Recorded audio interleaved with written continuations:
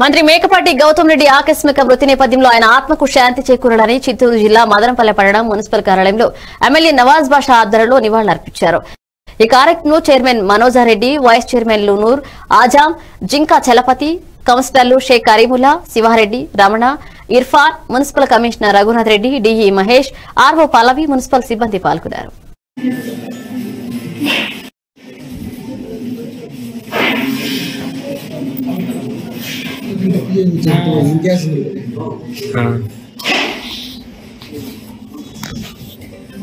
పండుగ కొంచెం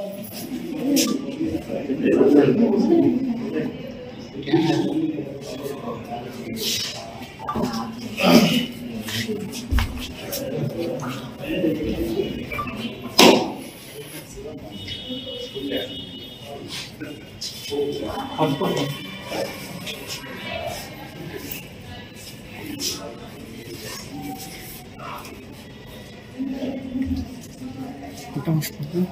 嗯，行，十五个。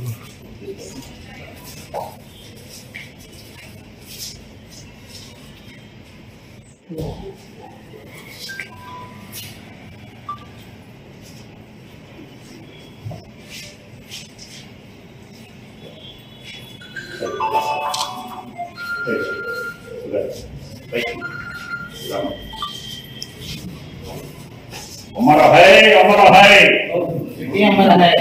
है अमर है गौतम रेड्डी अमर है अमर है अमर है गौतम रेड्डी अमर है अमर है अमर है गौतम रेड्डी अमर है ఇక్కడ గ్రూపులు లేకుండా చిన్న చిన్న ఈ ఆ, విభేదాలు ఉంటే కూడా అన్ని కూడా మరి అందరినీ కలుపుకొని పోయి ఈ రాష్ట్రంలో ఈ జిల్లాకు ఒక ప్రత్యేక స్థానం తేవాల ఇన్ఛార్జి మంత్రిగా ఉన్నానని చెప్పి వైజాగ్ నుంచి చెన్నైకి పోతున్న ఈ పర్సనల్ కాకినాడ అయితేనేమి అదేవిధంగా ఈ జిల్లాని ఎలక్ట్రానిక్ హబ్ చేయాలని చాలా ప్రయత్నించే వ్యక్తి. మరి ఎప్పుడూ కూడా ఎక్కువ భాగం తన సొంత పనుల కంటే కూడా ప్రభుత్వంలో మంత్రిగా ఈ ఈ యొక్క శాఖకు వన్య తేవాలని ఎప్పుడు కూడా కృషించేవాడు. మరి ఈ రాష్ట్రం విడిపోయినాక పరిశ్రమలు చాలా వెనకపోతున్నప్పుడు గత ప్రభుత్వం వైఫల్యంతో ఈ ప్రభుత్వంలో పరిశ్రమలు రావాలా? ఆంధ్ర రాష్ట్రం విడిపోయింది. ప్రతి ఒక్క యువతకు ఉపాధి కలగాలంటే పరిశ్రమలు రావాలని చాలా రేపు కష్టపడే వ్యక్తి ప్రభుత్వానికి. అటు పార్టీకి మంచి పేరు తెలియని వ్యక్తి ఇలాంటి వ్యక్తిని కోల్పోవడం నిజంగా మా పార్టీకే కాదు మరి ఉమ్మడి రాష్ట్రంలో ప్రతి ఒక్కరికి కూడా బాధాకర విషయం తెలియజేస్తుంది.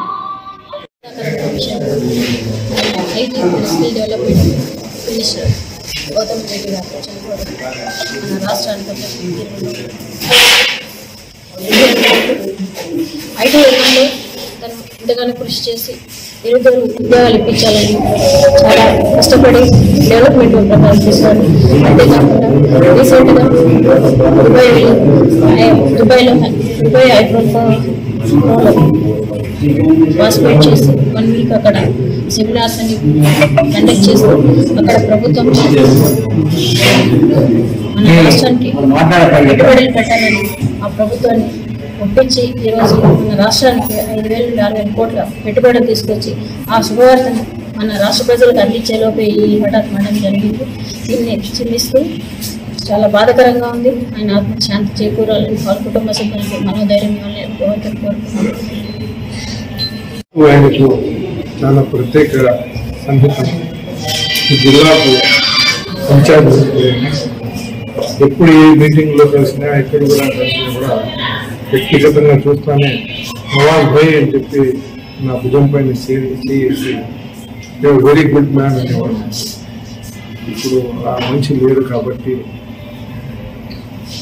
ఏం చెప్పాలనేది కూడా మనసుకు చాలా బాధాకరంగా ఉంది మరి దేవుడు